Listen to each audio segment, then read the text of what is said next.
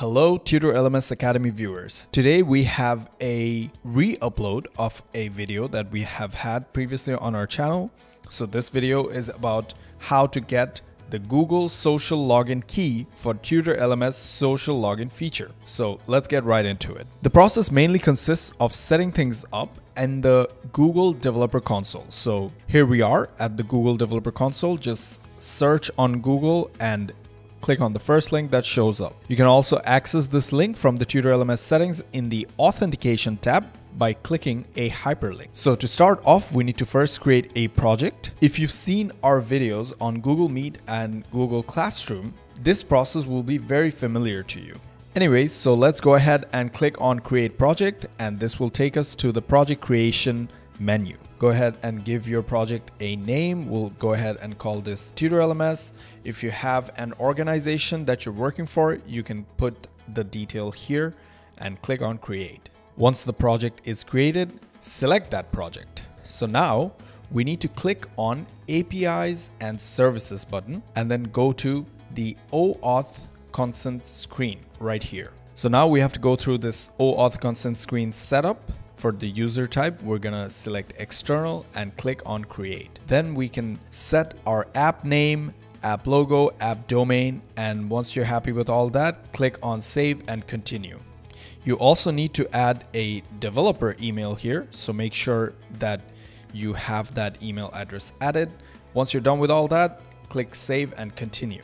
Then we come to the scopes screen. Once at the scope screen, we need to add two scopes. So very easy to remember. We need to only select the first two scopes that are at the top of the scopes tab. After you select them, click on update and then hit save and continue. On this screen, you can add users who can test your app. Remember that this will only work when the app is in the testing phase. In this tutorial, we will not be keeping the app in the testing phase. Rather, we're going to publish the app. So we don't actually have to add any users here. So we go ahead and click once again, save and continue. So we're done with the initial setup. Now it's time to create our OAuth client ID. Before we go over to the next step, over here, we're going to click on Publish App and make sure that this app is not in the testing phase. Then we click on Credentials tab, we click on Create Credentials, and we select OAuth Client ID. From this dropdown, we need to select our application type. We're going to be selecting Web Application and we can set a name for our application and then this is where the real work happens. We need to add an authorized JavaScript origin and an authorized redirect URI. Now, to get these two URIs, we need to head over to Tutor LMS.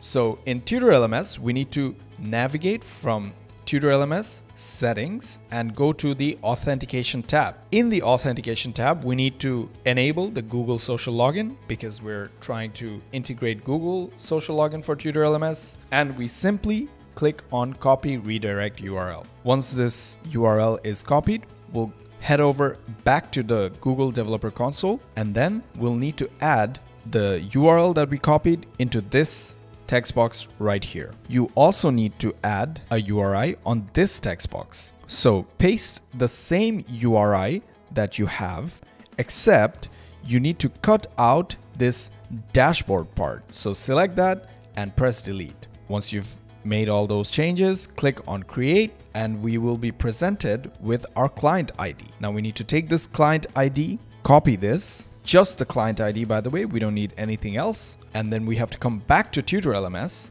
and paste the client ID that we just got into this text box. Once we've pasted this here, that's all we have to do. Hit save changes and Google Social Login will now be integrated into Tutor LMS. So now when logging into your e-learning site, users can log in through their Google accounts, making life all that much easier for you. Thank you for tuning in everyone. We hope you found this tutorial on obtaining a Google Social Login Key useful. We hope that this process will be working for you now as some of our users have expressed that it was not working. Please let us know in the comments if you face any further problems. Don't forget to like this video and we'll catch you in the next one.